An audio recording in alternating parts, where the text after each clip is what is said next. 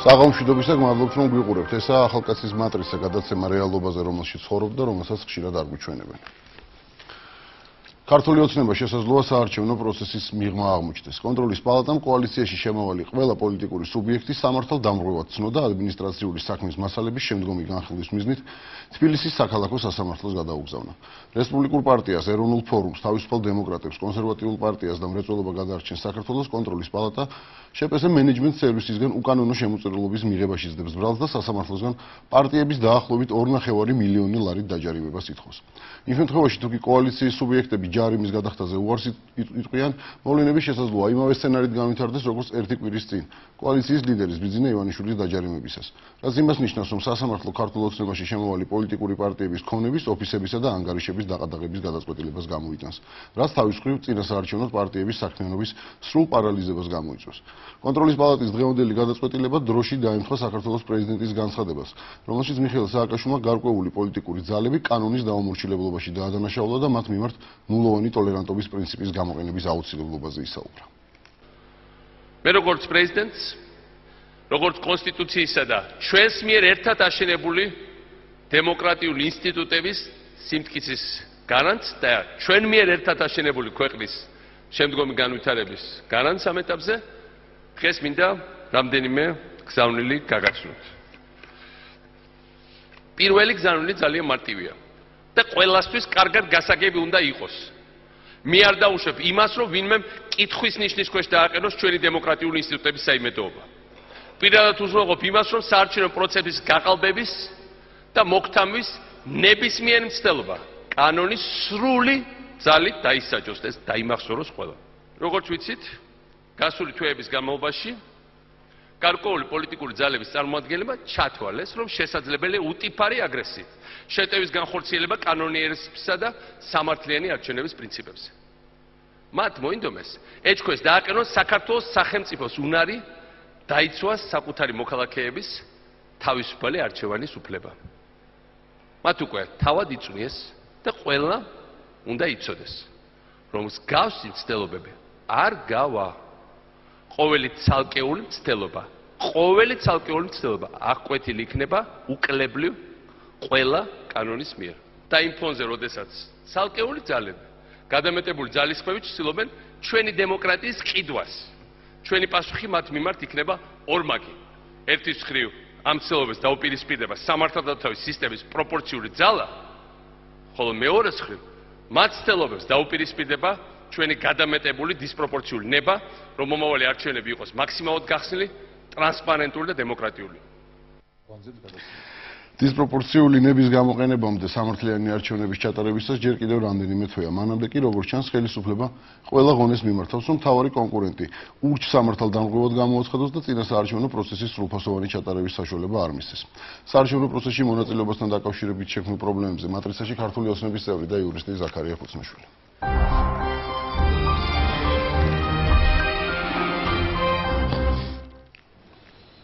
საღამოშვიდობის ზაქარია მადლობა მოგზაურობისთვის ზოგიერთი ძალები ცდილობენ ჩვენი დემოკრატიის ყიდვას. ზოგიერთ ძალებში ალბათ თქვენ გულისხმობთ ამ შემთხვევაში. რა თქმა უნდა ყველაფერი კი რაც საქართველოს ხდება ყველაფერი დაკავშირებულია უკვე ქართულ ოცნებასთან და ბიზნე ივანიშვილთან სიმართლე გითხრათ ჩვენ ეს არ უტყინს იქიდან გამომდინარე რომ ჩვენ მიგაჩნია მთელი საქართველოს უკვე დაუკავშირდა ამ პიროვნებას და ამ კოალიციას და მთელი საქართველოს უკვე ჩამოყალიბდა იმისათვის რომ დე ფაქტო პრეზიდენტი თავისი აი გუნდით გაშვებული იყოს პოლიტიკურ პენსიაზე და შესაბამისად ქართულ საზოგადოებას მიეცეთ თავისუფლად ცხოვრება. თუმცა ჯერჯერობით უფრო მეტი პრობლემა როგორც ვთქვი ქართულ ოცნებასაა, მოდი დღევანდელ გადაწყვეტილებაზე ვისაუბროთ, დღევანდელ კონტროლის პალატის გადაწყვეტილებაზე. ხუთივე პოლიტიკური სუბიექტი, რომელიც შედის კოალიციაში, ექვსივე უფრო სწორედ თუ ქართული ოცნება დემოკრატიულ საქართველოს გავითვალისწინებთ, ცნეს სამართალ დამღვრევად, ურჩ სამართალ დამღვრევად. და 2 მილიონ ნახევარ ლარზეა საუბარი დაახლოებით ჯარიმის. აა გოგი მინდა გითხრათ რომ ამ განცხადებაში დაშვებული იყო ძალიან ბევრი უზუსტობები და რბილად რო თქვა უზუსტობები და შესაძლებლობები. არც ერთ პარტიას არ მისვლია სამარდარღვევის ოქმი, რითაც აღიარებული იქნებოდნენ ეს პარტიები დამრღვევებად და შესაბამისად, როცა საუბრობს კონტროლის პალატა თავის ცნობილ განცხადებაში, რომელიც ციტირება თქვენ მოახდიეთ, რომ სასამართლოს მიმართეთო, კონტროლის პალატას არ აქვს უფლება მიმართოს სასამართლოს, სანამ სამარდარღვევის ოქმს არ მიიღოს ეგრეთ წოდებული დამრღვევი პირი და ან არ დაეთანხმება, ან არ გააპროტესტეს ამ სამარდარღვევის ოქმს. უფრო მეტიც, ოქმის მიღების შემდეგ პირ წარმოეშვება უფლება გააპროტესტოს ის და თავად ოქმის გამომტან ორგანოში ანუ კონტროლის პალატაში დაიცვას თავისი ეს არის რაღაც იურიდიული დეტალები ამ საქმის არ არის იურიდიული დეტალები ეს არსებითი დეტალია დაახლოებით იგივეა გოგი თქვენ გამოგაცხადონ დამნაშავედ სასამართლო ჩატარების გარეშე ჩვენ გამოგაცხადეთ დამრღვევებად ადმინისტრაციული წარმოების ჩატარების გარეშე. ანუ ადმინისტრაციული საჩივარი არც კი განხილულა, ოქმი არც კი გადმოგცემი არც ერთ პარტიას, ისე გადმოგაცხადეს დამღვევად. ანუ ეს უფრო მგონია პრეზიდენტ სააკაშვილის დღევანდელი განცხადების გამოხმაურება, როცა ის ცდილობს თავის ფორმალურ ბიუროკრატიაში შეინარჩუნოს მიშა მაგარიას стереოტიპი და ამბობს, რომ აი ჩემი სიტყვა და საქმე ერთმანეთს არ შორდება, შუა დღეს თქვა ესეთი რაღაცა და იქვე მოაყოლეს ერთ საათში ეს განცხადება, რომელი განცხადების თვალსაზრისით ოქმი, სამოდარღვევის ოქმი არც ერთ პარტიას არ აქვს. და თქვენ ჯერათ რომ ხვალ სასამართლო ამ ოქმს მიიღებს და იტყვის რომ აი ზაქარია ხუსნაშვილმა გააკეთა ესეთი კომენტარი, იურიდიულად ეს ოქმი არის არასწორი და ამიტომ დაუბრუნოთ კონტროლის პალატას. ეს ეს არა, არა, მე გეუბნებით რომ ხვალ ესენი სასამართლოს კი არ ჩაატარებენ, ოქმებს გადმოგიგზავნიან ჩვენ პარტიებს და შესაბამისად ამის შემდეგ სასამართლო კი არ ჩატარდება, ადმინისტრაციული წარმოება ჩატარდება კონტროლის პალატაში, იმიტომ რომ ჩვენ არ ვეთანხმებით ამ მორიგ დაჯარიმებას, იმიტომ რომ თუ გაინტერესებთ მე გეტყვით რა აბსურდთან გვაქვს მორიგ შემთხვევაში, რა აბსურდთან გვაქვს საქმე. ესე იგი მენეჯმენტ სერვისი არსებობს ეგეთი საწარმო, რომელმაც საწარმოაც იქირავა საქართველოს 22 რაიონში ოფისი და ქვექირავნობის ხელშეკრულებით მოგცა ჩვენ.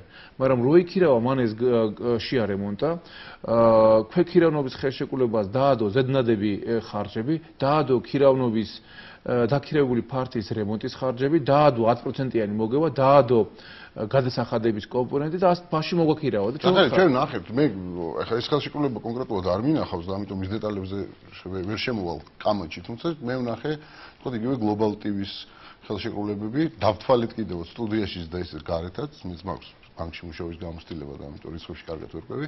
დავთვალეთ და ვნახეთ რომ ის კონტრაქტი არ იყო ისეთი წამგებიანი ესე ვთქვათ როგორც კონტროლის პალატა თვლიდა.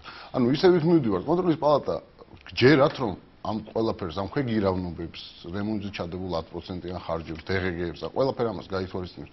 პროცესი მიდის იქითკენ თვითონ თინახილაშვილმა თქვა რომ კოალიციას არ მიეცემა არჩევნებში მონაწილეობის უფლება რადგან დაყადაღებული ქონებით პარტია არის ნუ მკვდარი მოდი ესე ვთქვათ ეს ეს სრული შეიძლება ამოძრავებს დე ფაქტო ხელისუფლებას, რომ ჩვენ არ მოგვეცეს ამის სრული და გადაცული არიან გააფრთებულ ქმედებებზე პროცესის მოშთობის მიზნით.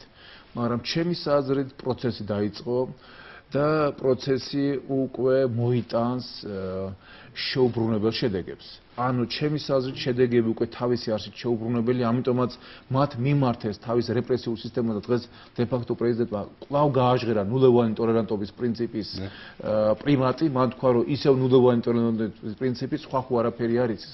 ამიტომაც ისინი ფიქრობენ, რომ იმდენად ღრმად წავიდა ეს საზოგადოებრივი პოლიტიკური პროცესი, მშვიდობიანი თვლილებების სასარგებლოდ, რომ თუ ეხლა არ მოაშთეს ეს პროცესი სექტემბერში და ოქტომბერში უკვე გვიანია. ამიტომ ჩვენ ველოდებით. მოდი დაუბრუნდეთ, თუ კი დააყადაღეს ქონება ყველა ამ სუბიექტის, ექვსივე პარტიის.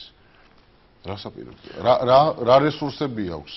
მაშინ კოალიციას თუნდაც იმისთვის რომ თქვა ცეთამთენიში ჩაატაროს შეხვედრა ხო იქ უნდა წავიდეს ძალიან მარტივი გოგო ადამიანი ბენზინი უნდა ჩაასხან რაღაცა ელემენტარი ძალიან მარტივი ძალიან მარტივი თუ თქვენ ფიქრობთ ხელისუფლება ნულევალი ტოლერანტობის პრინციპის რეალიზებისათვის მიმართავს იმას, რომ ჩვენ შტაბებს გამოყრეს დაქირავებული ოფისებიდან, მე დარწმუნებული ვარ, ქართველი ხალხი თავის ახლებს დაუთმობს ჩვენ მხარდამჭერებს ოფისებისთვის. და ეს კიდევ უარეს შედეგი იქნება ამ ხელისუფლებისთვის, ვიდრე ის, რომ ხალხი დღეს გარემონტებულ ოფისებში მშვიდობიან დაწარმოებს თავის სამოქალაქო და პოლიტიკური უფლებების დაცვას. გამოყრიან ჩვენ ხალხს ოფისებიდან ხალხი დაუთმობს ოფისებს. ასე რომ ჩვენ ვართ წაუგებელ მდგომარეობაში, გოგი. ის ხალხიც რომელიც დაუთმობს ოფისებს, ისინიც გამოვლენ რომ რაღაც შემოწერილობა, შემოწერილობა არის არაკანონიერი და შეიძლება მაგას მაგ. ყველა მოქალაქეს აქვს უფლება 60 წელარის ფარგლებში განახორციელოს შემოწერილობა. დღეს არ არის საქართველოსში ოფისი, რომელიც თავისი ფარტით რაც გვიყვაქვს ჩვენ აქირეები 1000 1500 ლარზე მეტი ღირდეს მისი ქირაობა. ასე რომ 4 თვესაც რომ მოგვაქირავონ და თქვენ 500 ლართაც რომ დაგვითვალოს კონტროლის პალატამ ეს, მაინც 60 ლარზე ვერადა თქვენ ხო კარგად ერკვევით ციფრებს 4-ჯერ 5000 არის 20000. ვერანაირად ვერ ჩაგვითვლება ეს ამ მოქალაქეს უკანონო შემოწირულობად. ასე რომ პროცესის გაჩერება გოგი უკვე შეუძლებელია. ეხლა აღმოჩნდა ესეთი მდგომარეობა. ი რაღაც მომენტში ხალხს ქონდა იმედი რომ ქართული ოცნება დაეხმარება მათ და მოხსნის მათ პრობლემებს. ეხლა ქართულმა ოცნებამ წინაპირაში გამოახვენა საბანკო რეკვიზიტი და მიმართა ხალხს თხოვნით რომ გადაულიცხონ ფული. ეხლა თქვენ საუბრობთ რომ შესაძლოა თქვა დაგჭირდეთ ხალხის თქვა დახმარება იმაში რომ ფართები გქონდეთ წინასაარჩევნოს. ანუ ხო პირიქით პირიქით პირიქით შეტრიალდა ვითარება შეიძლება თქვას. ეხლა ხალხი კი აღარ ელოდება ქართული ოცნებისგან დახმარებას, ქართული ოცნება ელოდება ხალხისგან დახმარებას, ესეა. მატერიალურ თვალსაზრისით ასე არის, იმიტომ რომ მართლა ძალიან სერიოზულად გვიზღუდავენ შემოწოდობების განხორციელებას, ყველას გვიჯარიმებენ, ფიზიკური პირი იქნება ეს და თუ კერძო კომპანია რომელიც შემოწირულობას კი არა მომსახურებას ეწევა რემონტი ხო ეს მომსახურება.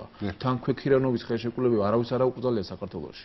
თან როცა ვეუბნებით რომ როცა გვედავებით რომ აქ შემოწირულობა განახორციელა მენეჯმენტი უნდა ნახოთ 100 ლარად რო იქირავა 100 ლარად გადააქირავა თუ 150 ლარად გადააქირავა. ეს 50 ლარი რო წამატა იქ არ არის რემონტის ხარჯები მოგების ხარჯები თუ ის 50 ლარი ჰაერიდან მოვიდა რა აქედან გამომდინარე გოგი მე არა ვარ პესიმისტურად განწყობილი.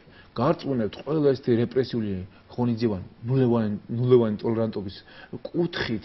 ქართველი ხალხის როგორც ამომრჩევლის განწყობას კი არ დაძაბავს და კი არ მოადუნებს. პირიქით უფრო მობილიზებულს და კონცენტრირებულს გახდის მათ არიციან მენტალიტეტი, ადამიანის მენტალიტეტი, ქართული ადამიანის მენტალიტეტი, კავკასიელი ადამიანის მენტალიტეტი და მე ხშირად მომყავს ხოლმე აფხაზების მაგალითი, ვისაც თქვა ქართველების არაჟერას. აფხაზებს რუსები უნიშნავდნენ თავიანთ პრეზიდენტს გახსოვთ? და აფხაზი ხალხი გამოვიდა და თქვა რომ არა ეს უნდა იყოს ჩვენი პრეზიდენტი. ანუ რის თქმა მინდა კავკასიელ ხალხში და მათ მათ შორის ქართულ ხალხში არის განსაკუთრებით გამძაფრებული დამოკიდებულება უსამართლობის მიმართ. და ეს ორმაგ წინააღმდეგობას წარმოშობს ხოლმე მუშაობს ეს უკვე შეგიძლიათ მითხრათ მაგალითები რომ აი დღეს ეს უკვე მუშაობს. ეს თეორიაა რომ ქართველებს გვაქვს განსაკუთრებული შეგრძნება ქართველები ვართ კარგი ფიქრობთ აბა რატომ მიმართავენ ამ ღონისძიებებს? მათ დაინახეს რომ ქუთაისში რომელიც მათი აზრით კმაყოფილი და მადლიერი უნდა იყოს დე-ფაქტო ხელისუფლებით 10000ობით ადამიანი გამოვიდა ქუჩაში. მათ დაინახეს ოზურგეთში, რომელიც ხარის დე-ფაქტო მართველი ბატონ ნიკოლაიშვილი უმძრესი ადამიანია და უზარმაზარ მილიარდ ნახევრიან კაპიტალს აკონტროლებს ბიუჯეტის სახსრების სახით, აღმოჩნდა რომ მთელი ოზურგეთი ფეხზე დადგა. ანუ მათ დაინახეს ეს მათი მოჩვენებითი წარმატება არ მუშაობს. ხალხი მაინც ითხოვს სამართლიან ცვლილებებს. ამიტომაც რა დარჩათ? მხოლოდ რეპრესიული მექანიზმები. ოფისები დაგვიყადაგო, თექშები დააპატიმრონ და ასე შემდეგ. ხარ გადაიყვანს ის რაც ახლა ხდება პროცესებს ქუჩაში. ხომ არ ხომ არ ფიქრობთ, რომ თქვათ სასამართლოში მისვლას ალბათ აზრი არ აქვს, როგორც მოხდები? არა, ჩვენ ჩვენ მაინც მივალ სასამართლოში. მივხვდით იმისა, რომ თქვენაერად სკეპტიკურად ვართ განწყობილი, რომ სასამართლო არის არა თავისი არსით სამოქალაქო არან პოლიტიზირებული სამართლოა და ფაქტიურად ჩვენ წყალს ვნაყავთ, მაგრამ აუცილებელია ვაჩვენოთ მაგალითი, ჩვენ ხო ერთი დღით არ ვცხოვრობ. ამ 4 თვით ხო არ ვცხოვრობ. ჩვენ უნდა ვაჩვენოთ ყველას, რომ კანონმორჩილი ხალხი ვართ და ყველა სამართლებრივ ინსტრუმენტს გამოიყენოთ ბოლო ინსტანციამდე. მაგრამ ეს უბრალოდ არნიშნავს იმას, რომ ჩვენ მოგვერიდება ქართულ ხალხს უთხრათ, რომ ხალხო სამართლიანი არჩევნებს ჭირდება ფინანსური უზრუნველყოფით, საწვავს ელექტროენერგიას, ქაღალდს, იმ ფლაიერს, იმას ყველაფერს ჭირდება სახსრები და სირცხვილი არ არის რომ უთხრა ადამიანს დაგვეხმარეთ. აა გამოჩნეთ სოლიდარობის ვინ სამართლიანი არჩევნების ინტერესით ხართ განწყობილი.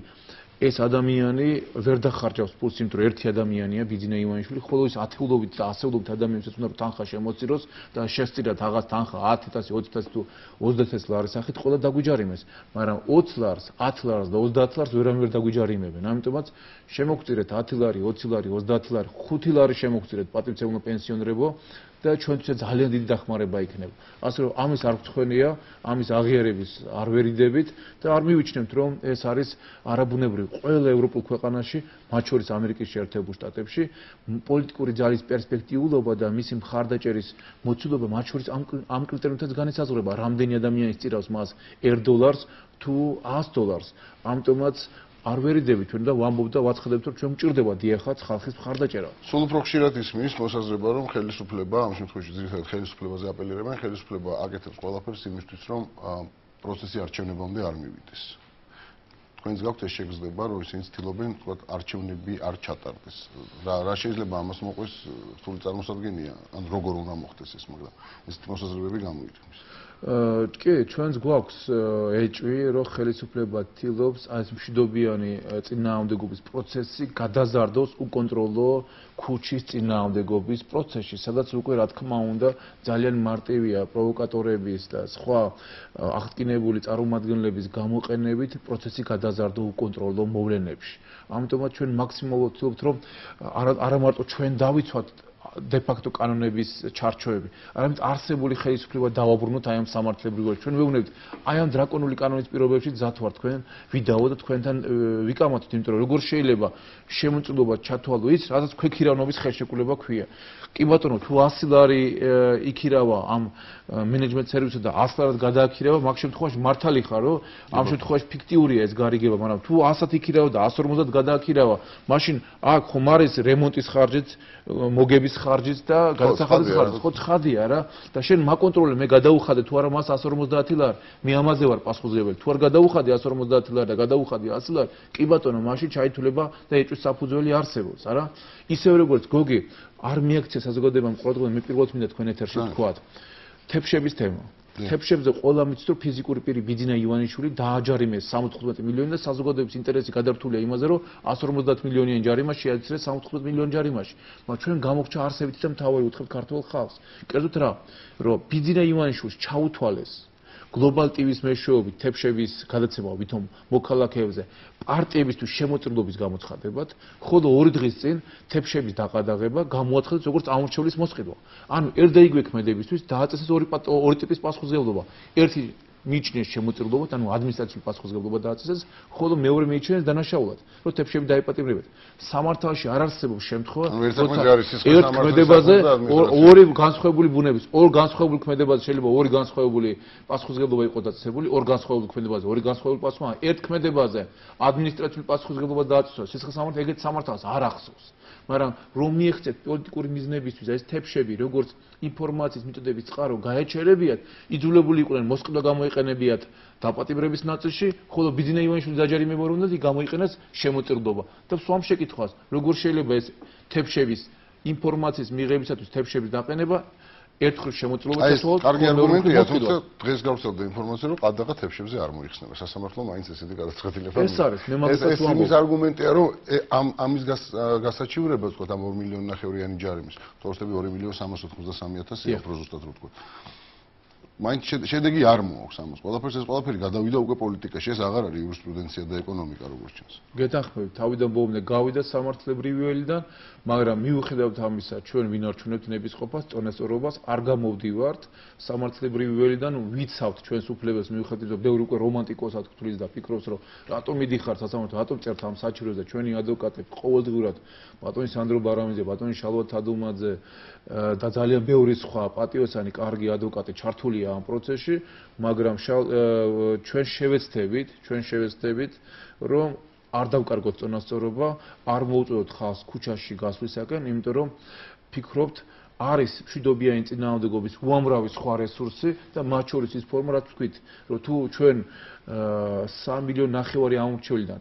თუნდაც ნახევარი მილიონი ამორჩეველი. შემოგწირავს 5 ლარს საშუალოდ. ჯარიმოს გადაიხდით. ჩვენ არა ჯარიმოს არ გადავიხდით იმიტომ რომ უკანონო ჯარიმა ჩვენ ამ თანხას გამოვიყენებთ ჩვენი კანონიერი მიზნების რეალიზაციისთვის მაგრამ თუ ანგარიშები დაყადაღდა გამოვარო ჩემი ჩარისხული ფული ან თქო სხვა სრული ჩარისხული ფული წავა სახელმწიფო ბიუჯეტში და ნუ ამ შემთხვევაში უკვე არსებობს სხვა მექანიზმი შემოწირულობის სახით ვოლონტერობის სახით და მოქალაქეები თუ დაგვითმობენ ოფისებს რას იზამენ თელ საქართველოს დაერევიან, რატო ვერ გაბედეს და ყველა თეფშის მესაკუთრეს რატო არ მიადგნენ სახში? თუ მიხვდნენ აბსურდული ხასიათში გადავიდოდე ეს. რა ყველა 5 და 10 ლარი შემოწიროს მიადგებიან სახში, ვერავის ვერ მოგადგებიან ხალხ. პირიქით ხედავთ სააკაშვილი უკვე სოფლის გამგებლებს ხდება ლამის, რომ ეშინია რომ ადგილობრივი ბიუროკრატია როგორც ხარდამჭერი კლასი არ დაკარგოს და იმათ არწმუნებს რომ აი ნუ გეშინიათ ყარათავარ, ისევ ნულეროვანი ტოლერანტობის პრინციპის პრიმატია ძალაში და მე ყოველას დედას უტირებ. აბა ვნახოთ ვის რას უტირებს ის. ძალიან დიდი მადლობა ზაქარია ხუცნაშვილი იყო ჩვენი სტუმარი წარმატებას გისურვებ ზაქარია უახლოესი რამდენიმე კვირის განმავლობაში რამდენიმე ათეული ათასი ქართველი სტუდენტი ანაკლიაში საგანმანათლებლო ტრეინინგს დაესწრება. ტრეინინგის თავარი მიზანი მომავალი თაობის წარმომადგენლებისთვის ლიდერების უნარჩვევების სწავლებაა. თუმცა როგორც აღმოჩნდა ესე საჭირო თვისებას მხოლოდ იმ სტუდენტებს შეასწავლიან, ვინც მართველი პარტიის მიმართ ლოიალურ დამოკიდებულებას ამჟღავნებს.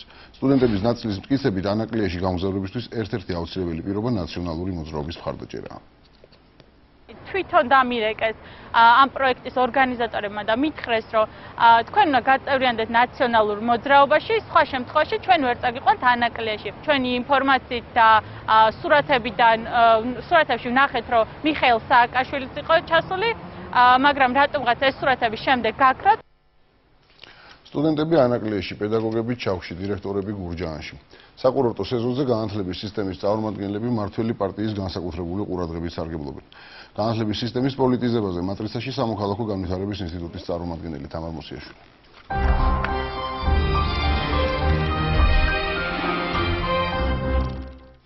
საღამოშიდობისა თამარ, მადლობა მოგზანებისთვის. საღამოშიდობისა. ქართული საგანმანათლებლო სისტემა ერთი შეხედვით ესე ჩანს, რომ პოლიტიკის ერთ-ერთი ყველაზე მთავარი ნაწილი გახდა. პოლიტიზებულია პირდაპირ ვთქვათ, ეპატიჟებიან პედაგოგებს სხვადასხვა კურორტზე. გაუგებარია რატომ ზოგი ამბობს რომ იწარდება რაღაც ვორქშოპები, ტრეინინგები, მასტერკლასები. ზოგი ამბობს რომ უბრალოდ ისხენებენ, ზოგი ამბობს რომ განათლების სისტემას განიხილავენ და რაღაც ფიქრობენ როგორ გაუმჯობესონ ეს სისტემა. რასთან გვაქვს საქმე რეალურად?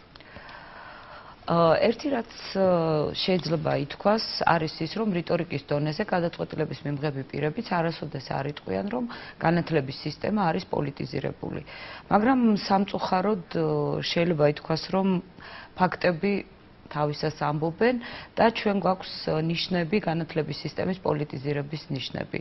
კონკრეტულად რას გულისხმობ აი ამ პოლიტიზირების? კი, დავიწყოთ ყველაზე მარტივი ნიშნებით, რომლებიც ასევე ძალიან თვალნათელია პედაგოგების გათავისუფლება სამსახურიდან პოლიტიკური ნიშნით, როგორც ამბობენ. ხადი ამის დამტკიცება ძალიან რთულია, თუმცა როდესაც პედაგოგებს, რომლებსაც არ აქვთ არანაირი საყვედური, არანაირი, თქო, ადმინისტრაციული, როგორ ქვია მას?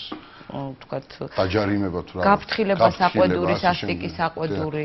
უცებად ათავისუფლებენ და ეს არის ათეული შემთხვევაა უკვე საქართველოსში და მართლაც ემთხვევა შესაძლოა რომ მარტო ის პედაგოგები არ არიან კარგები, რომლის ძმები, შვილები თუ ოჯახის სხვა წევრები სხვა პოლიტიკურ ძალასთან ასოცირდებიან, მაგრამ ეს არის ყველაზე მარტივი. რაც ჩანს ესეთი შეურაღებული თვალით. კი, აი ჩვენ მაგალითად გადავიღეთ ფილმი, აა ზუსტად ამ საკითხზე. ჩვენს ფილმში არის ნაჩვენები კონკრეტული ადამიანების ისტორია, რომლებიც იმ მიზნით არიან განთავისუფლებულები სკოლებიდან, რომ მათი ოჯახის წევრები იყვნენ სხვადასხვა პოლიტიკური პარტიის წევრები. ამ ადამიანების მიმართ სკოლაში არ არსებობს არც გაფრთხილება, არც საყვედური, არც სასტიკი საყვედური, მაგრამ ამ ადამიანებმა შუა სასწავლო წელს დატოვეს სკოლა. ბუნებრივია მასშტაბლებლების სკოლიდან გაშვება, სხვაგვარად მოა რამდენია ასეთი შემთხვევა? რამდენი გაქვს აღწერილი? ჩვენს ფილმში არის ხუთი შემთხვევა აღწერილი, მაგრამ ბუნებრივია რომ ეს შემთხვევები არის გაცილებით მეტი. უბრალოდ ჩვენი საზოგადოების შეიძლება ითქვას ჩვენი საზოგადოებისთვის პრობლემას წარმოადგენს, როდესაც ვინმე ასე ვთქვათ, შენს უფლებას ლახავს, ამის შესახებ განაცხადო ხმამაღლა, რომ მე მითხრეს, რომ დაწერე განცხადება, წადი, ან მე გარკვეულ უფლებებს მიზღუდავენ. რაღაცნაირად ადამიანები ცდილობენ ხოლმე, რომ ეს ყველაფერი დამალონ. მე მინდა ოპტიმიზმი შევინარჩუნო და ვთქვა, რომ იმედია, რომ ვთქვათ, დრო დროთა განმავლობაში უფრო ნაკლები იქნება, ვთქვათ, ასეთი ფაქტების დამალვის მცდელობა. აა მაგრამ ახლა ეს ადამიანები, რომელიც თუნდაც ჩვენს ფილმში არიან, ვთქვათ, გადაღებულები, ამ ადამიანების ამ ისინი თავატყვებიან ამ ამბებს და ამას გარდა ისინი სასამართლოში ასაჩივრებენ ამ უკანონო უკანონო გათავისუფლების ფაქტებს. და რამოდენიმე ინსტანციაში მათ უკვე გაასაჩივრეს და მაგალითად ერთი ქალბატონი ამბობს, რომ ის ნამდვილად არ გაჩერდება და ის ვთქვათ საზღვარგარეთაც გაასაჩივრებს ამ ამბავს, რადგან მასშტაბლები ადამიანისთვის ან მასშტაბლები მასწავლებლისთვის მასწავლებლობა არის სოციალური ფუნქცია, ძალიან სერიოზული სოციალური ფუნქცია და როდესაც ამ ადამიანს ათავისუფლებ ამ სოციალურ ფუნქციას ასე ვთქვათ ართმევ. უნებრივია რომ ჩვენ მე არ ვთვლი არანაირად რომ ჩვენი სკოლები არ არის ვთქვათ ჩვენ სკოლებში არ მუშაობენ სხვაგვარად მოაზროვნენი. რასაკვირველია მუშაობენ და უნებრივია ხა სხვაგვარად მოაზროვნებს ყველას ვერ გაათავისუფლები. რატომ არის ესეთი განსაკუთრებული წნეხი მოდი ესე ვთქვათ პედაგოგებზე. გასაგებია რომ ბევრი არიან და ანუ რაოდენობრივად მომგებიანია, მეორე სულ ჩვენ ქონდა ძალიან საინტერესო გამოთქმა მართალი პარტიის ერთ-ერთი წარმომადგენლის რომ პედაგოგები არიან განმანათლებლები და ამიტომ პირველ რიგში მათ ჭირდებათ განათლება რომ მე სწორი იდეები მიიტანონ მოსახლეობასთან. ეს სისტემა მუშაობს, ანუ პედაგოგების ავტორიტეტის გამოყენების მცდელობა ამ შემთხვევაში ყველაზე მეტად. კი, პედაგოგების ავტორიტეტის გამოყენების მცდელობაა და ისიც აი მინდა ვთქვა რომ ვთქვათ სკოლა, კონკრეტულად საჯარო სკოლა, ეს არის ის დაწესებულება, რომელიც საქართველოს ყველა რეგიონში, ყველა რაიონში და თითქმის ყველა სოფელში ფუნქციონირებს. სკოლის მასწავლებელს აქვს თავისი სოციალური დატვირთვა თუ აქვს თავისი ავტორიტეტი და შესაბამისად ძალიან ბევრი ვთქვათ თანამოქალაქისთვის, მეზობლისთვის, თანასოფლელისთვის სკოლის მასწავლებელი არის სერიოზული ავტორიტეტი. სწორედ ამიტომ ვთქვათ წინა არჩევნებში კოორდინატორებად, ასე ვთქვათ კოორდინატორებად თუ აგიტატორებად ძალიან აქტიურად მოვაწეობდნენ ჩვენი სკოლის პედაგოგები და ისეთი შემთხვევებიც იყო რომ 2010 წლის თვითმმართველობის არჩევნებში ეს კოორდინატორები როდესაც არჩევნები დამთავრდა, შემდგომ განთავისუფლეს კიდეც თქვა სკოლებიდან და ეხლა კარგად ვერ იმუშავებს. არა, კარგად იმუშავებს. ეხლა მაინტერესებს ესეთი საკითხი, როგორც წესი პედაგოგები მართლაც ძალიან ავტორიტეტული და პატივსაცემი ადამიანები არიან, განსაკუთრებით რეგიონ რეგიონებში, სადაც ნუ სკოლა ძალიან მნიშვნელოვანი ინსტიტუტია. და ზუსტად ახიდან გამომდინარე, თვითონ პედაგოგებიც ხო მიეკუთვნებიან ყველაზე განათლებულ. გარკვეულწილად ელიტაა ეს მოდი ესე ვთქვა საზოგადოებაში, ხო? საგანმანათლებლო უნდა იყოს ელიტა. უნდა იყოს ყოველ შემთხვევაში. მაშინ რა იწევს იმას, რომ აი ეს ელიტა, ხალხი, რომელსაც უკეთესი განათლება აქვს, ვიდრე ვთქვა მათ მეზობლებს, ვთქვა მათ რაიონში ბევრ ადამიანს, უცებ აღმოჩნდნენ გამტარები. აი ეს როგორც ზანამართლობა პარტიამ. რა რა რა იწევს იმას, რომ პედაგოგები ვერ ეწინააღმდეგებიან ამ წნეხს და ხდებიან ამის მონაწილეები, იმის რაც არ არის კანონიერი ელემენტარულად. ეცით ახლა მე ვაგრძელებ რომ ბუნებრივია მოხდა რამდენიმე მასწავლებლის გათავისუფლება სკოლებიდან და ბუნებრივია რომ სხვაგვარად მოაზროვნეები საქართველოს გაცილებთ ბევრნი არიან და ის ადამიანები ვერ გაათავისუფლეს მაგრამ რამდენიმე ადამიანის გათავისუფლებით პრაქტიკულად იმ ვიწრო ინსტიტუციაში ნერგავენ შიშს. ეხლა რა ხდება სკოლაში როდესაც ხდება თქვათ ერთი კონკრეტული მასწავლებლის გათავისუფლება. ესე იგი სამი როლი აქვს ამ შემთხვევაში უკვე სკოლის თანამშრომლებს. ჩაგვრელი დირექტორი ჩაგრული მასწავლებელი მასწავლებელი არის, ვინც გაათავისუფლეს და დანარჩენი პედაგოგიური კოლექტივი არის შემსწრე. ანუ ასეთი ტიპის ინსტიტუციაში ვერ იქნება თავისუფლება, ვერ არ იქნება კულტურა აზრის თავისუფლად გამოთქმის. ანუ პრაქტიკულად ეს ადამიანები მე მინდა ვთქვა, რომ უბრალოდ დააშინეს, მაგრამ ცოტა მე მეჩვენება მაინც, იმიტომ რომ ხვდები, თქვათ, განათლების სფეროს წარმომადგენლებს, ძალიან კარგ პროფესიონალებს, ჩვენი ქვეყნის არაჩვეულებრივ მოქალაქეებს და მე ვიცი, რომ აი ეს ტენდენცია, დაშინების ტენდენცია ცოტა ზღვარს არის ასე ვთქვათ გაცდენილი და მე დიდი ეჭვი მაქვს რომ დიდხანს ჩუმად ეს ადამიანები ფიზიკურად ვეღარ იქნებიან იმიტომ რომ ისინი აი ამ მდგომარეობით ძალიან დაიღალნენ. მე მაქვს ასეთი განცდა იმიტომ რა ვიცი ასე საუბრობენ ეს ადამიანები. არა მხოლოდ მასწავლებლები არამედ დირექტორებიც.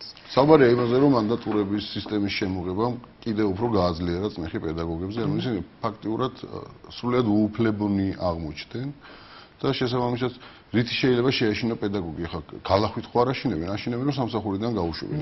აქ ეს არის სისტემა ეცეთ მანდატურებზე რა მინდა ვთქვა?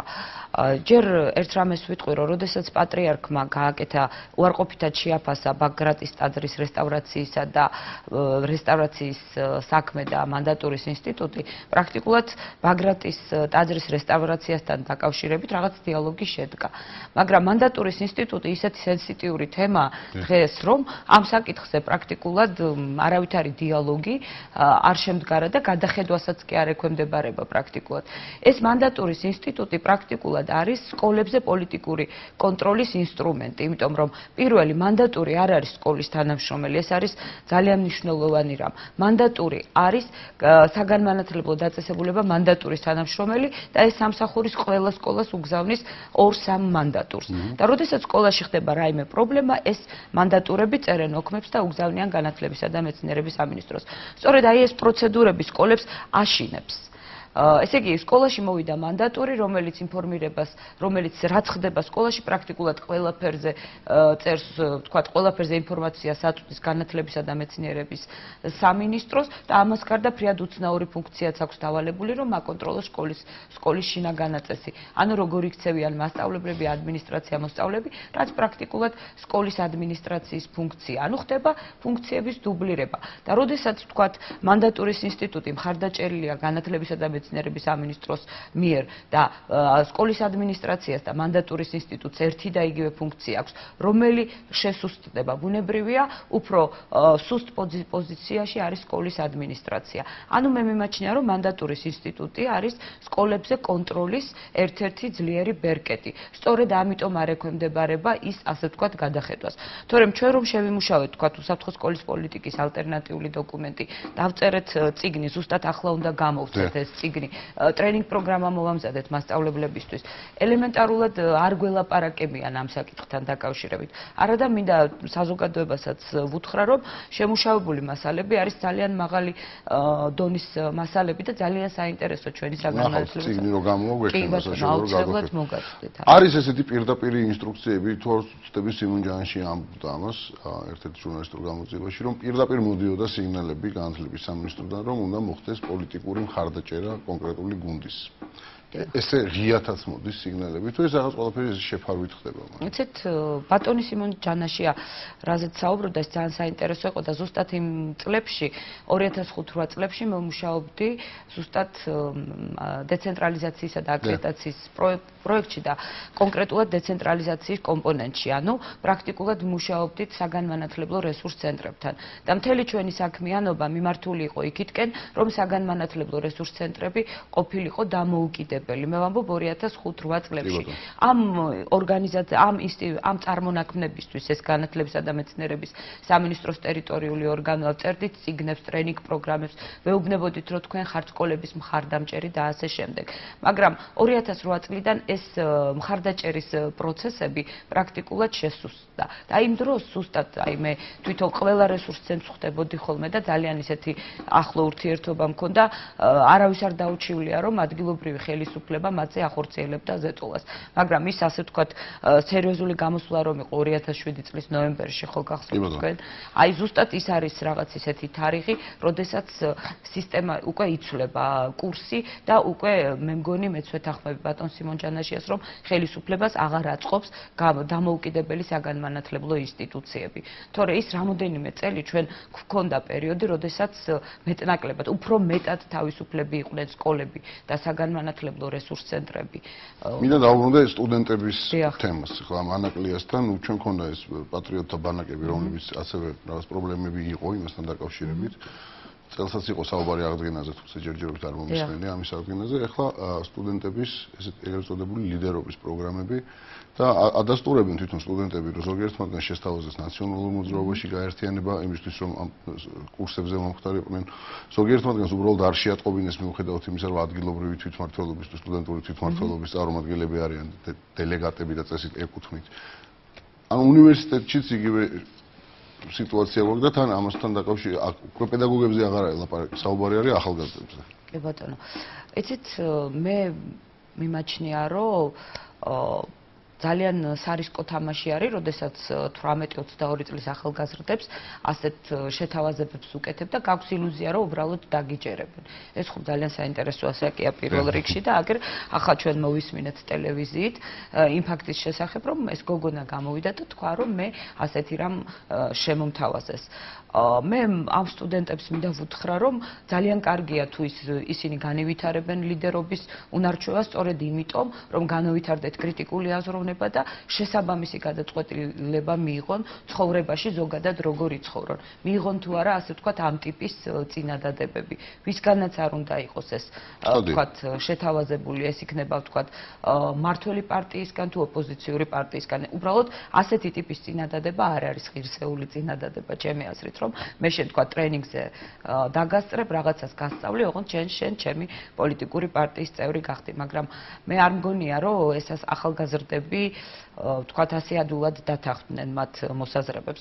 და ადულადაც და ყველაფერი ისე ხდება რომ პრაქტიკულად საზოგადოება ასეთი რაღაცეების შესახებ იღებს და იგებს. და თვითონ ეს ახალგაზრდები საუბრობენ რომ ვთქვათ ასეთი რამ შემომთავაზეს და მე წავედი ზღვაზე და ასე შემდეგ. ან თავისთავად თვითონაც ცოტა ცინიკურად უყურებენ ჩემი აზრით ამ ამბავს და მე თუ ასე მეჩვენება არ ვიცი ახლა ვინც ეს წინადადება შესთავაზა ამასთან დაკავშირებით რას ფიქრობ ის საერთოდ ზოგადად ჩადის დანაშაულ სისხლის სამართლის. კი ბატონო, ანუ ანუ ეს ადამი მე არ ვიცი, მე მიმაჩნია რომ ძალიან ისეთი სახიფათო წინადადება არის და ღმერთმა უკნას რომ ასე წინადადებაზე ჩვენი ახალგაზრდები დათანხმდნენ. ძალიან დიდი მადლობა თამარ მოსიაშვილი სამოქალაქო განვითარების ინსტიტუტის წარმომადგენელი. აფხაზეთის დე-ფაქტო რესპუბლიკის საგარეო საქმეთა მინისტრი ქართულ აფხაზური დიალოგის არარსებობის მთავარ მიზეზად საქართველოს პრეზიდენტს მიიჩნევს. ჩვენ მოლაპარაკების დასაწყებად ყოველთვის მზად ვართ. საქართველოს პრეზიდენტი სააკაშვილი რომ არ ყოფილიყო, დარწმუნებული ვარ საქართველოსა და ჩვენ შორის სხვა დამოკიდებულება იქნებოდა და შეთანხმების მიღწევაც უფრო რეალური გახდებოდა. ჩვენ უფრო პრაგმატულად მოაზროვნე თანამოსაუბრე გვჭირდება. ალასანია ანივანიშვილი განაცხადა ვიაჩესლავ ჩირიკბამ იტალიურ გამოცემულ იმესისთვის მიცემულ ინტერვიუში. ქართულ ოცნებაში აცხადებენ, რომ აფხაზეთისა და სამხრეთ ოსეთის კონფლიქტის მოსაგვარებლად კონკრეტული გეგმა აქვთ. საპარლამენტო უმრავლესობა კი ჩირიკპოს განცხადებაში ივანიშვილისა და რუსეთის ხელისუფლების კავშირს ხედავს. ქართულ-აფხაზური დიალოგის პერსპექტივებზე მატრიცაში პოლიტოლოგი მამუკა არეშიძე.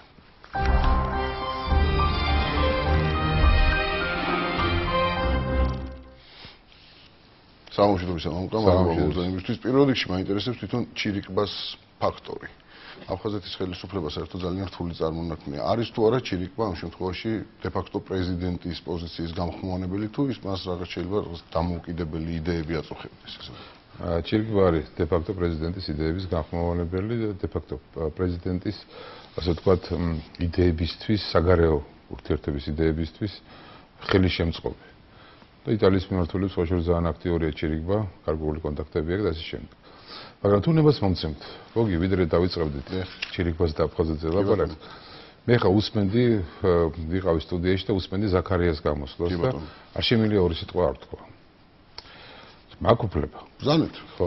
თუ საინტერესო ორი სიტყვა საინტერესო ორი სიტყვა ხარ როგორ გითხრათ საკუთარი თავზე როგორ ვილაპარაკო, მაგრამ ყოველ შემთხვევაში მე ერთი რამ მინდა ვთქვა, რომ ზაქარია თავისი ბუნებიდან გამომდინარე ინტელიგენტი კაცია, რბილი კაცია და კიდე გამომდინარე, ხშირ შემთხვევაში და იურისტი კაცია. ვერ ამბობს იმას, რაც ალბათ თუ თავისი იურიდიული სივრციდან გამოდის, მე აუცილებლად მინდა ამას ხაზე გაუსვა. ხელისუფლება ყველანაირად ცდილობს, რომ იურიდიული სივრციდან გამოიყვანოს, სამართლებრივი სივრციდან გამოიყვანოს ქართული ოცნება, ბუნებრივია ამას ყველანაირად ქუჩაში გამოსვლა. აა ჩვენი იურისტები ცდილობენ ეს ყოველ პროცესი დააბრუნონ იურიდიულ სივრცეში. ხშირ შემთხვევაში ეს არის წყლის ნაყვა. არაფერი არ გამოდის აქედან, უბრალოდ საქმე ის არის რომ მე დავიცავ ზაქარიას პოზიცია მან თქვა რომ იცის რომ ეს არის გარკვეულწილად ნაყოფი არ უნდა გამოსვლა ზუსტად ხო და ამას ამაში ამაშია საქმე. მე მინდა რომ ხაზე გავუსვა ამას კიდე ერთხელ ზაქარია მე ზრბილად თქვა. მე მინდა ხაზე გავუსვა იმას რომ წყლის ნაყვის პროცესას აქვს თავისი აზრი ბუნებრივია. ოღონდ ერთი რამ არის რომ საზოგადოება ჩვენი არის ნელ-ნელა გზნობ დუღილის ასე ვთქვათ ხარისხის გაზრდას და გზნობ იმასაც რომ ხალხში ჩდება ეს განწყობა რატო ჩვენ უფრო აქტივ აგრესიულები არ ვართ პროცესში რომ პროცესების შესაძლოა გადაიზარდოს ვთქვათ უფრო უფრო გართულდეს არა იმიტომ რომ ზევიდან წამოვიდეს რაღაც მოწოდება არამედ თვითონ ქვევიდან წამოვიდეს ინიციატივა პროცესების დასაკვირველი შესაძლებელია და ეს არის ცუდი ეს არის ცუდი, ეს არის გახთის ზოგ შემთხვევაში ლოგიკიდან ამომარდება პროცესი. მე უბრალოდ მინდა უთხრა საზოგადოებას, რომ ამ შემთხვევაში ჩვენი იურისტების მდგომარეობა არის ძალიან შეზღუდული. იურისტები ცდილობენ ვიმეორე პროცესი დატოვონ სამართლებრივ სივრცეში, ხელისუფლების პოზიციიდან განსხვავებით. ეს არის ძალიან მნიშვნელოვანი რამ და დასავლეთი და ჩვენი მოკავშირეები იქნება და მტრებიც კი ამას უყურებენ ძალიან დიდი ყურადღებით. თუმცა მეორე მხრივ საქართველოსში რადგან ამ თემაზე გადავედით საქართველოსი ზოგადად ესეთი რევოლუციები ასე ვთქვათ, ყოველთვის ზევიდან იწყება, ხო? თუ ეხლა ვთქვათ იგი რეალ გამოსახულების პერიოდს გავიხსენებთ, იმას ხა რევოლუცია რქვა თუ არა ეგ სხვა თემაა და ამაზე კამას ავროპირებთ, მაგრამ იქაც ის რაც დაიწყო, დაიწყო იმიტომ რომ ხელისუფლება გაიხლიჩა ორად და ხელისუფლების ერთმა შტომ მეორე შტოს დაუპარიო დაუპირო. ვარდების რევოლუციაც ისევ ზევიდან მოდის, ხო? იმიტომ რომ პარლამენტის თავმჯდომარეა იქ. მზაობა ორი ყველა შემთხვევაში იყო. ქვევიდან არასოდეს არაფერი მომხდარა. ფიქრობ რომ ეხლა შეიძლება არ არსებობს ესეთი მაგალითი ბუნტის garaში, მაგრამ არის განსხვავება რევოლუციას და ბუნტს ამ ტერმინოლოგიაში შორის შესაბამისი.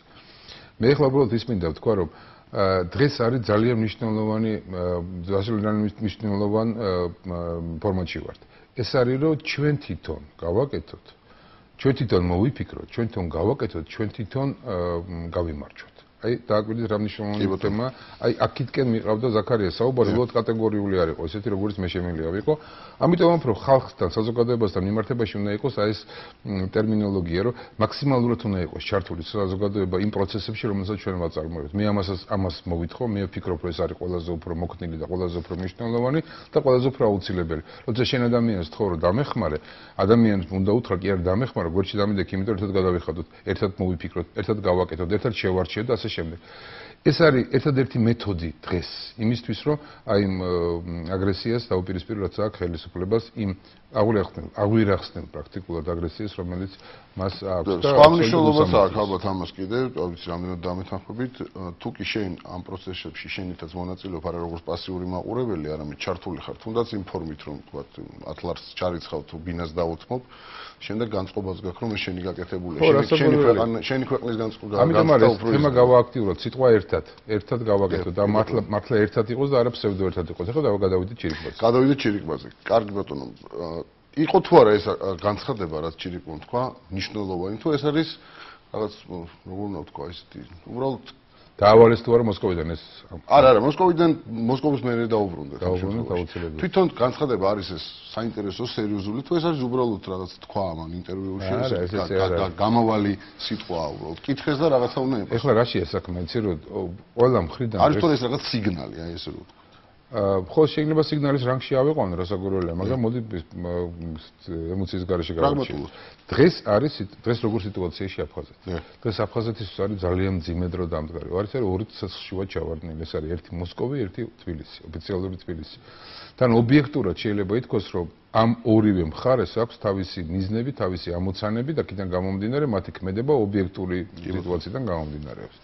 აფხაზეს აქვს ერთი სურვილი, გასაკუთრებული სურვილი აფხაზურ ხელმძღვანელობას დღევანდელს ეს რომ გადაარჩინონ ამ სურვილში შედის ეს გადაარჩინონ თავისი ეთნოსი რომელიც არის განადგურების პირას მისული და ეს პროცესი გრძელდება ოსებისგან განსხვავებით და მეორე ეს არის დასავლეთში როგორმე ისე თქვა გაჭრან ფანჯარა სერიოზული. ოღონდ ისეთი პატარა ფანჯარა კი არა ისეთი არამედ დიდი სერიოზული ფანჯარა იმისთვის რომ მათ ქონდეთ გასასვლელი აფხაზეთისა ევროპაში და არა ისეთი აი პასპორტების დონეზე ვთქვათ ნეიტრალური პასპორტები მათ არ აწყობთ ამ შემთხვევაში არ აწყობთ. ნუ ხო იქ ვიღაცას შეიძლება აწყობდეს პიროვნულად აწყობს მაგრამ თვითონ პოლიტიკურად არ აწყობთ უნებრივია საქართველოს მეშვეობით ამის გაკეთება პირდაპირ ასე არ აწყობთ მაგრამ საქართველოს ესე იგი გავლით არ აწყობთ მაგრამ საქართველოს მეშვეობით კულუარულად შეიძლება აწყობდეს კიდევ ასეა თუ ისეა მათ ჭირდებათ სერიოზული პარტნიორი თბილისში რომელსაც რომელიც სიტყვა შესრულებული იქნება რომელსაც შეიძლება ესე ვთქვათ რომელთანაც შეიძლება დიალოგი აწარმოონ თუ თუნდაც იმისთვის რომ მოსკოვს ეფექტურად ევაჭრო. სწორედ ირაკლი ალასანიეს მიუხედავად იმისა რომ თქვა ბევრი შეიძლება რაღაც ასე თქვა მინუსებზე მიუთითო სხვა შემთხვევაში აფხაზური მხრიდან ბუნებრივია. კი ბატონო, გასაგებია. ერთი რამეა, რასაც აფხაზურ პოლიტიკური სტაბილიშმენტი ყოველთვის უფასებდა ეს იყო, სიტყვის ასრულებდა ყოველთვის. და 2006 წლიდან მოყოლებული ირაკლი ალასანი იყო ერთ-ერთი პოლიტიკური ფიგურა, მაშინ როცა იყო სააკაშვილის მრჩეველი აფხაზეთის დარგში, იყო ის პოლიტიკური ფიგურა, რომელიც დიდობას იწვევდა და ინდობოდნენ მას. ალასანიაზე, ალასანიეს ფაქტორი მეტნაკლებად ცნობილია, მე მგონი, მაგრამ საიდან გაჩნდა აი წყვილი ივანიშვილი, ივანიშვილთან თითქოს არაფერი შეხება აფხაზებს არ ქონია. თუ არსებობს რაღაც ივანიშვილთან შეიძლება ტიპის შეხება ქონდათ აფხაზებს მე არ ვიცი მე მგონი არავით არის მაგრამ ივანიშვილი არის ამ შემთხვევაში იმ კოალიციის ლიდერი რომელიც ერთ-ერთი მოწინავე ფიგურაა ანუ ეს წინა თეორიულია თქვენ გამორიცხოთ რომ უკვე მიდის რაღაცა ტიპის აი ხო არ არის რაღაცა ტიპის პროცესი დაწყებული უკვე ივანიშვილი ისე რომ მე სიამოვნები დავიწყებდი ამ პროცესს საშუალება რომ მქონდეს მე მქონდა მქონდეს ასეთი საშუალება გეუნებით ეხლავე დავიწყებდი ამ პროცესს მე ადამიანი რომელიც ასე ეფლობს სიტუაციას მიმდებარე ტერიტორიაზე აფხაზეთში და ასე შემდეგ მაგრამ აქ არის მეორე ფაქტორი მნიშვნელობა სულ გავანებოთ ირაკლი ალასანიას და ბიძინა ივანიშვილს თავი. საქმე ის არის, რომ ვიმეორებ, აფხაზები არიან ცეიტნატურ მდგომარეობაში. ცეიტნატური მდგომარეობიდან გამოსავლის გამოსავლის აუცილებელია სტაბილური პარტნიორი, რომელიც სიტყვას შეასრულებს და რომელიც რაც მთავარია, არ ილაპარაკებს მხოლოდ ტერიტორიულ მთლიანობაზე საქართველოს, არამედ ილაპარაკებს იმ ინტერესებზეც, რომელიც შეიძლება სავარაუდოდ კონდეთ აფხაზებს. შეიძლება ეს არის ამ შემთხვევაში კრამოლური ფრაზა, იმიტომ რომ სინამდვილეში აქვთ. არავინ არასოდეს არ ინტერესდებოდა მათი ინტერესები. ყოველს რაღაც ინტერესია. ჩვენს ახლანდელ ხელისუფლებას რესურსი აფხაზეთთან მოლაპარაკების ამოწურული აქვს თუ ეს აფხაზური ხედვაა თუ ეს რუსული ხედვაა თუ რაზე ჩვენ დღევანდელ ხელისუფლებას თავის რესურსი აფხაზეთთან მოლაპარაკების არ გამოუყენებია ამას ხაზგასმით ვამბობ იმიტომ რომ მუდმივად იყო ლაპარაკი რომ ახალ წელს შევხვდებით სოხუმში 1 მაისს შევხვდებით სოხუმში 8 მარტს შევხვდებით სოხუმში გიორგობას შევხვდებით ასე შემდეგ ყოველ შემთხვევაში აფხაზებს პრაქტიკულად ჩვენების დემონსტრირების იმისა რომ აი ლამაზია თქვა საქართველოს მიმდებარე ტერიტორიების მშენებლობის პროცესი და გარდა ამისა საქართველოს პირდება რაღაც ეკონომიკურ დივიდენდებს, გარდა ამისა საქართველოს პირდება პასპორტებს და ასე შემდეგ. საქართველოს ბევრ ამას პირდება რეალური არც არაფერი არ ქონია. თუმცა უნდა გითხრათ, რომ საქართველოს ხელისუფლებას მის მერე ობიექტურობისთვის ვარდების რევოლუციის მერე ქონდა საუკეთესო სასტარტო მდგომარეობა. საუკეთესო. მე შემიძლია გახსნილად გესაუბროთ ამის თაობაზე და გითხრათ, ალბათ თქვენი მაღლობის საინტერესო იქნება 2004 წლის გაზაფხულს, გაზაფხულზე, ესე ვიდრე გაიწყებოდა ეს კონფლიქტი ზაფხულისა, კოკოითმა შემოთვალა რომ მას ჰქონდა სურვილი შეხვედრო და არ აქვს ააკაშოს ერთ კადრებდა. არამედ რომელიმე ესეთ მინიც ან ხელისუფლების წარმომადგენელს რომელსაც შეიძლება პასუხი გაეცა კითხვაზე სურვილი ჰქონდა დავждდეთ ვილაპარაკოთ. თუნდაც ისეთ კულუარულად ისე რომ ეს ჩემი ესე ვთქვათ ჩემ ჩემი მეშვეობით მოხდა ეს გამოგზავნა. პროფესორად შემამდე მოვიდა ეს თხოვნა. მე ამით იმის თქმა მინდა რომ მაშინ სოხუმშიაც და ცხინვალშიაც იყო იმედების სკლირეულები, ასე ვთქვათ, რომ დაიწყება მოლაპარაკება, დაიწყება ვითარების გარკვევები და კი არა ეშინოდა. იმიტომ რომ გამოსავალს ხედავდნენ იმ კაბალიდან, რომელშიც იყო მოხვედრილი აა რუსების მხრიდან. დღეს კიდე უფრო ვარესი ეს კაბალა. ანუ თითქოს არც ერთი მხრიდან არ განიხილება, თქვა აფხაზეთის დამოუკიდებლობის თემა. ხო აფხაზეთის ხელისუფლება დე ფაქტო ვინც არ უნდა იყოს ის ალბათ არ არის. მზად იმაზე საუბარზე რომ ვთქვა სასაუბროთ რომ ვთქვა აფხაზეთი დაბრუნდეს საქართველოს შემოგებლობაში თავისუფლება არც საქართველოს ხელისუფლება არც ეხლანდელი და ალბათ არც შემდგომი არ იქნება მზად იმისთვის რომ გამოაცხადოს რომ აფხაზეთის დამოუკიდებლობას აღიარებს. რა კონკრეტულ საკითხებზე შეიძლება მაშინ შეჯერება? ეს გადავდოთ და უშუალოდ ამას არ განვიხილავთ.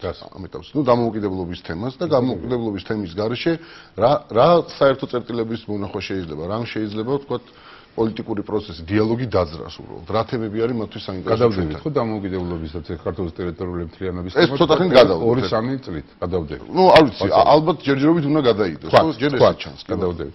აი მაშინ შეიძლება საკითხი დაესვეს ასე. პირველ რიგში არის მთავარი. რა აინტერესებთ აფხაზებს? და რა აინტერესებს? ისევე დებენ ისინი პოლიტიკურ საკითხს დამოუკიდებლობის ლაპარაკი არის. ხო არის ეს მოლაპარაკება? თავი, თავი და ჩემი, თავი და თავი, ჩემო გიორგი, ოსებისგან გასხოვებით ის არის, რომ აფხაზური ერიალი მილევადი. აფხაზური ენა არის მილევადი, ეს არ არის ჩემი დასკვნა, ეს არის იუნესკოს დასკვნა ენის შემთხვევაში. ეს არის მილევადი და მათ გჭირდებათ გადარჩენა. ზოგ შემთხვევაში აფხაზებისთვის, მაგრამ აფხაზებში არის მყარად გამეფებული აზრი, რომ სამედიცინო მოსახურება იმიტომ აფხაზეთში დაბალი დონე, რომ მოსკოვს შეჭirdება რა აფხაზები გაანადგუროს. რამდენად მართალია ეს მეორე საკითხი, მე ვერ დავიწყებ კითხვას, მაგრამ თავით და თავი ეს არის. ესე იგი, საკითხი გაჩნდა. ერთი არის ძალიან მნიშვნელოვანი აფხაზური ეთნოსის შენარჩუნება. ისე გეუბნებით ობიექტურად. აფხაზური ეთნოსი თუ არ იქნება, იქ აფხაზეთს ჩვენ აფხაზეთს ვერ დავიბრუნებთ ვერასოდეს. ტერია მოყვარი არ აქვს მნიშვნელობა. ანუ ეს პრაგმატული ინტერესი პრაგმატული. ეს არის ერთი ძალიან მნიშვნელოვანი საკითხი. უკვე არის ხო საკითხი? კი, რა თქმა უნდა. მეორე საკითხი არის ძალიან მნიშვნელოვანი ასევე. რომ ესე იგი აფხაზეთს კონდეს ეკონომიკ მყარი ეკონომიკური განვითარების საშუალება. ანუ ის კი არ იყოს დამოკიდებული რუსული ბიუჯეტურ ნემზე. ასე ვთქვათ, ის იყოს, მას კონდეს საშუალება იმის, რომ განვითარდეს. ამიტომ ჭირდება რა? ამიტომ ჭირდება არა ტრანშები საბიუჯეტო, არამედ ჭირდება ეკონომიკური პროექტები, ხო? ეს რაღაც ინფრასტრუქტურა. და ვერ მიაღწია ანქვაბმა მაგალითად, ბაგაფს თემა არ აინტერესებდა მან და მაგ ანქვაბა ვერ მიაღწია რომ ვერაფრით, რომ მოხდეს აი ეს არა ტრანშული, არამედ პროგრამული დაფინანსება. რა შეიძლება საქართველოს ხრიდან რა შეიძლება ამისთვის გაკეთდეს? აი ჩვენ ჩვენ ჩვენ თავი გავგჭირვებია ანუ არ იყო ეს საქმე. შესაძლოა ლაპარაკი, როდესაც იყო ეკონომიკური თავისუფალ ეკონომიკურ ზონებზე, მიმდებარე საზღვართან მიმდებარე ტერიტორიაზე. აფხაზები არ იყვნენ წინააღმდეგი, მიუხედავად იმისა, რომ ხელისუფლების პირობებში ვითომ არაფერი არ უნდათ. მაგრამ იყვნენ ამაზე, იყვნენ ამაზე. თანახმად, მაგრამ რუხში.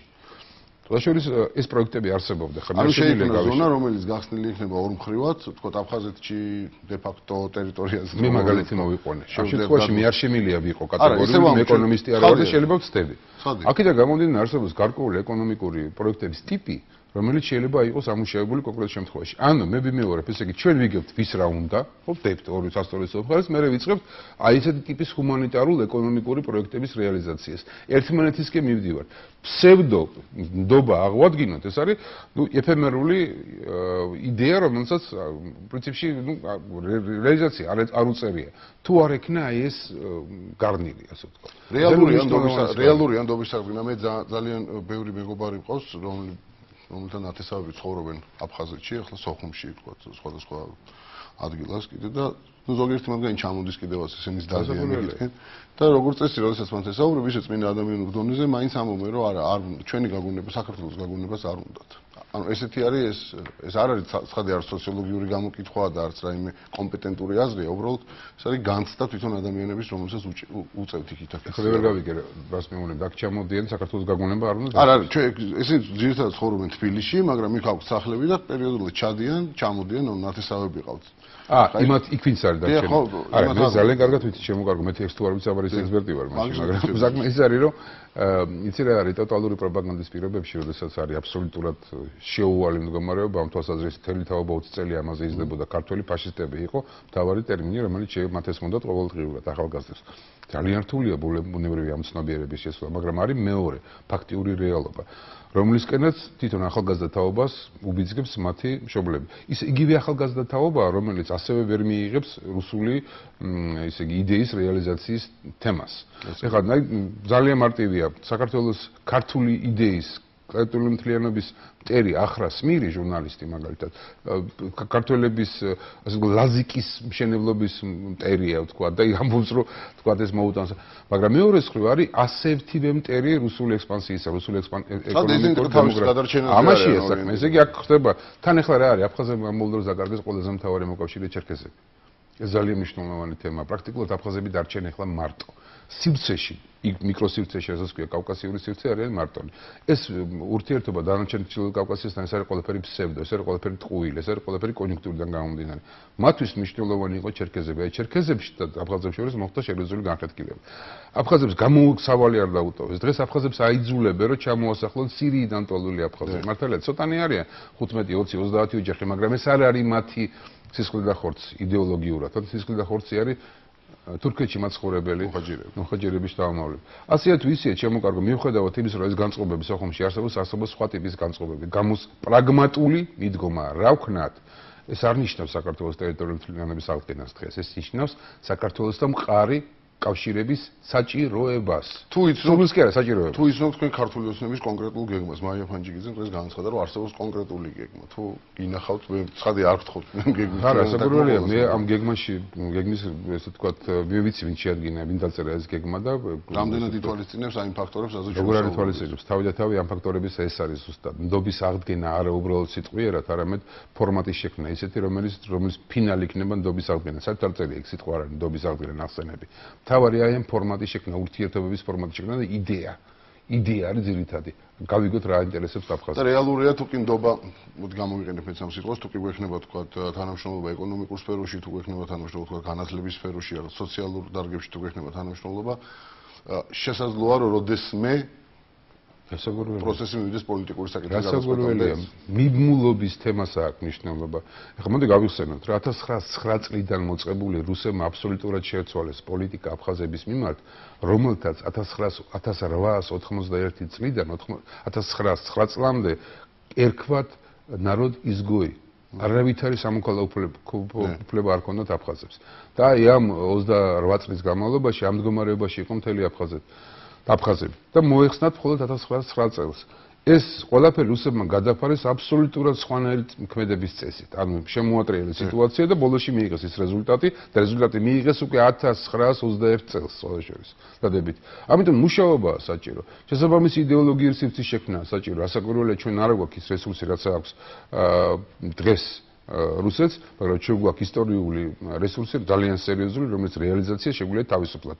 აფხაზს აქვს უამრავი მინუსი შეიძლება, მაგრამ უამრავი პლუსი, რომელიც ბევრად უფრო ახლოა ქართულ ცნობიერებასთან, ქართულ მენტალიტეტთან, ვიდრე რუსულთან. და ბოლო კითხვა ძალიან ხშირად, როდესაც მიდის აფხაზეთის თემაზე საუბარი, ქართულ ოცნებას ხო, განსაკუთრებით რესპუბლიკელ, რესპუბლიკულ მდგენელს ესე ვთქვათ, ადანაშაულებენ იმაში, რომ ისინი არიან იმ იდეის ავტორები, რომ აფხაზეთს უნდა მიეცეს დამოუკიდებლობა. მე მახსოვს ერთხელ თქვენს გამოაცხადეთ ესეთი იდეა აფხაზეთის დამოუკიდებლობასთან დაკავშირებით. არის შემისვლა იყო. არა, მე მახსოვს თქვენი ახსნა განმარტებას, ამიტომ ამ შემთხვევაში თქვენზე არ არის აქცენტი. ხომ არ განიხილება ვთქვათ ესეთი ვარიანტიც. გამორიცხული აბსოლუტურად. ეს თემა არის ამოგდებული, ეს არავის არ იფიქრებს, ხოლმე ერთი რამ მინდა თქვა ობიექტურად. ხშირ შემთხვევაში პოლიტიკური კოალიციის წარმომადგენლები ლაპარაკობენ და გამოდიან ისე ლაპარაკობენ, რომ ერთი იდეა კონდეს უყურდეს. არ შეიძლება ერთი იდეა კონდეს.